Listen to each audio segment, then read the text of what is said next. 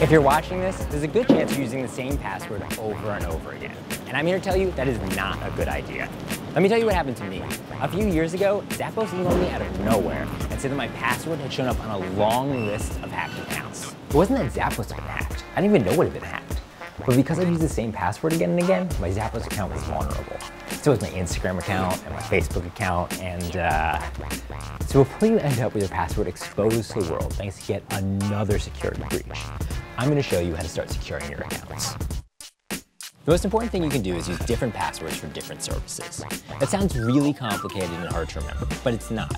What you need is an app called a password manager, something that can remember all of your usernames and passwords and automatically plug them straight into websites. They're really, really handy and pretty easy to use once they get set up. There are a bunch of options out there like 1Password and Dashlane, but for this video we're going to talk about LastPass because it's completely free and it works on basically every platform, Windows, Mac, iOS, Android, even Chrome OS, so you'll be able to use it no matter where you are. When you sign up, the first thing you'll be asked to do is create a master password. This is what you'll type to log in into LastPass. And basically, it's the only password you'll ever have to remember, so you'd better make it a good one. Now, I know you're thinking probably a special character, a capital letter, a number, maybe make that O into a zero. No, forget all of that. What you want is something that's long but easy to remember. So instead of password, think passphrase, something like excitable lizard tomato paste machine. You're not gonna forget that, but it's gonna be really hard for a hacker who's guessing password after password after password to figure out. Okay, so what are the hackers actually doing here? We asked Russell Brandom, the Verge's cybersecurity reporter, to find out. So imagine a big breach like the one that hit Yahoo in 2013. Hackers got logins and hashed passwords for a billion accounts. Now that's a lot of people, and it's a huge problem for everyone, even outside of Yahoo. Suppose you've got a scam going and you need to hack a bunch of Facebook accounts. If you can buy unhashed Yahoo passwords on a criminal marketplace, you can use a tool like Sentry MBA to run all 1 billion of those passwords against Facebook and see which of them work. If you're lucky, you get one in a thousand. But for a breach as big as Yahoo, that's a million passwords. Of course, Facebook will get suspicious if one computer is putting in millions of passwords a second, so the programs get clever, using botnets to spread the logins out over millions of IP addresses, using different profiles and different browser fingerprints, so each one looks like a different user. It's an arms race between hackers trying to use the passwords and services trying to stop them, but at the end of the day, the ones that work are legitimate passwords.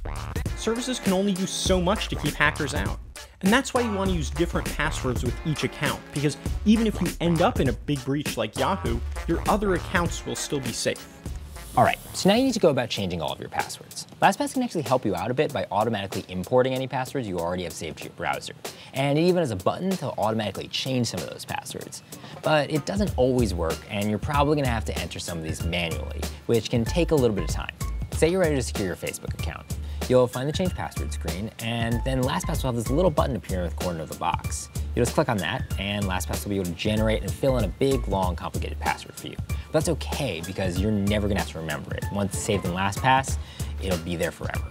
And that's it. Fortunately, you don't have to do this all at once. And honestly, I'd recommend waiting a few days before you add, you know, your bank account or your email address, just to make sure you have the hang of it. Just so you know, it's gonna be a little bit more work on mobile because you're gonna have to copy your password out of the LastPass app and into whatever you're signing into, but it's worth the effort. Okay, so that'll actually make you more secure than most, but there's one more step you can do to make your accounts even safer. It's called two-step authorization, and you should set that up too. Usually what this means is that when you go to log into a website, the website will text a short code to your phone, and you'll have to enter that code as well as your password to get logged in. The idea is that even if a hacker has your password, they'll also need to steal your phone in order to break into your account, which is gonna be a lot more work. Yes, this will make logging in take a few seconds longer, but it's much more secure and you'll feel a little bit like a secret agent every time you get a special code sent to you. At least that's how I feel. Some quick words of warning about all of this. First of all, never forget your master password. Seriously, if you do, you're gonna be locked out of everything. Some accounts will give you a backup code, make sure you hang on to those. And even if you do take both of these steps, you're never gonna be 100% impossible to hack. That's just not gonna happen. Even two-factor systems can and are being breached. But if you take these steps, you're still gonna make it much harder for somebody to get into your account when they're not supposed to.